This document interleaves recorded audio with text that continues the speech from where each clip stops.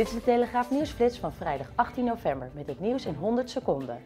HSL gaat ons veel geld kosten. Even mijn kleinzoon uitlaten. Nigel de Jongs confrontatie. Huisvrouw 26 jaar verslaafd aan Zelda. GSM voor onder de douche en daarom is deze piloot ontslagen.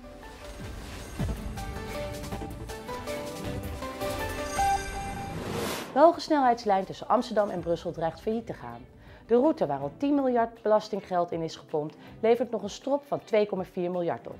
Gehoopt werd dat veel treinreizigers een toeslag wilden betalen om sneller van Amsterdam naar Rotterdam te rijden. In de praktijk zitten die treinen veel te leeg. Deze oma laat haar kleinzoon uit aan een touw. Het tienjarige Chinese jongetje is zo onhandelbaar en onvoorspelbaar agressief dat hij aangelijnd moet worden.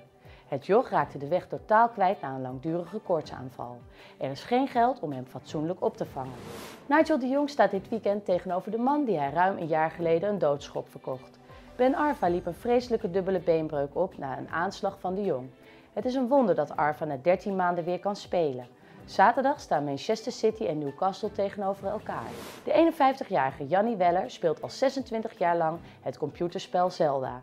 Vandaag kan ze haar hart ophalen, want het nieuwste deel Skyward Sword is uit. Ze vertelt in de Telegraaf dat ze dan ook niet gestoord wil worden. Al haar vrije tijd gaat zitten in het spelen van de Nintendo-game. Jannie's man vindt Zelda maar niks. Normaal is een beetje water al einde oefening voor je peperdure smartphone. Het Amerikaanse bedrijf HZO heeft een spray ontwikkeld die je gsm waterdicht maakt. Kijk en huiver.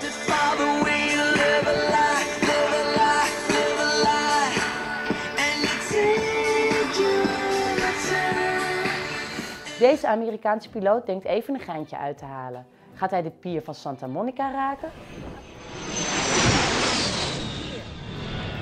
De vliegenier zit nu vast in de gevangenis. Dit was de nieuwsflits. Op onze site verder het laatste nieuws over Ajax. Tot maandag.